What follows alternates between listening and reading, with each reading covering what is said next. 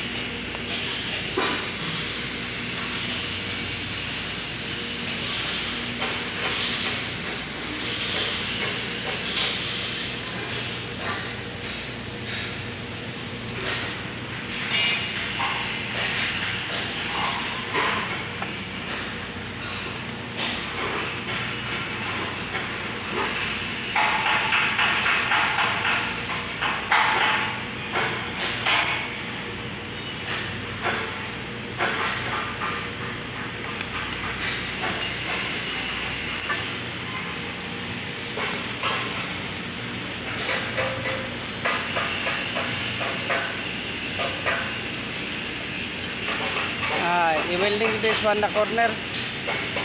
Corner welding first. One. Cor corner, uh, first that one.